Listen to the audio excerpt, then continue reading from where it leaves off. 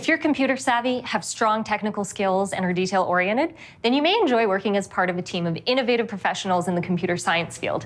Let's meet a software developer. Hi, I'm Viviana. Hi, I'm Sam. Nice to meet you.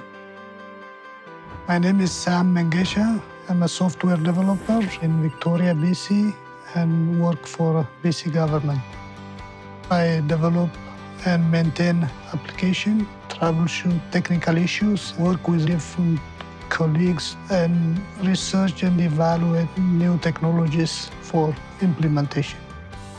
We work in a team and we serve different uh, clients. We create an application for their business. I write the code, test the code, test the application, evaluate, and then recommend for implementation.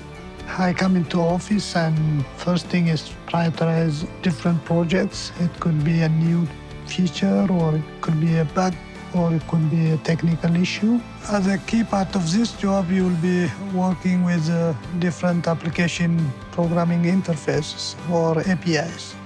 I open my development environment and then test the code. And once the application is tested and, and evaluated, then it's ready for uh, use for the clients.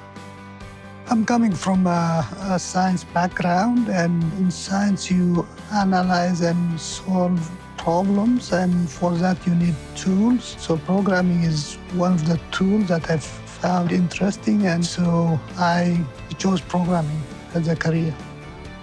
So, do you work a typical nine to five here? Uh, yeah, I usually work from uh, from eight to four. Sometimes I work uh, extra hours, and then I can take uh, a day off in uh, every two weeks. Work extra and get a day off every two weeks. That sounds pretty good. Yeah. It's a very, very flexible environment, so we can work also from home. It, it varies from company to, to company. In this field, you start a junior programmer and then you proceed into intermediate and then from there senior developer. Or you could be an architect or a solution developer. There are a number of ways you can, you can progress. To do this job, one needs training in computer programming. So it could be a college training or it could be a, university degree in a computer science. It's a very dynamic uh, environment. One needs to be constantly learning.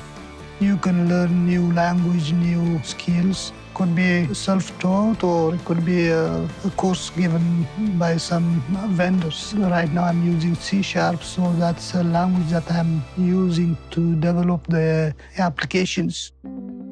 These look like a lot of symbols to me, like maybe even a formula. Do you have to be really good with numbers to be able to code?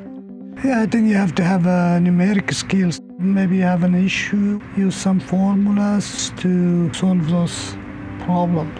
To be a programmer, one needs to be detailed and systematic.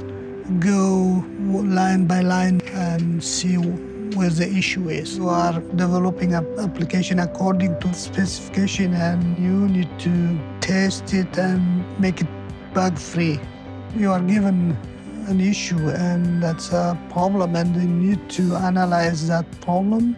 It could be new features that the client wants or it could be a technical issue.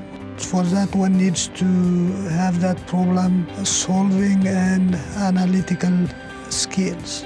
For somebody interested in, in, this career, I would advise to start it early, uh, maybe in high school. Focus on maths, take uh, courses, join college, and maybe do a co-op. There are uh, new features, new techniques. One needs to be on top of the uh, technology. Programming is a very dynamic and growing field, and there are a lot of uh, opportunities. Everything digital that you see has to be written by somebody programmer sitting behind a, a computer.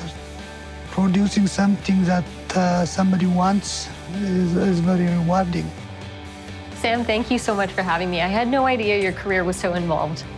Once again, I'm Viviana with Career Trek, reminding you that this career could be yours. We'll see you next time.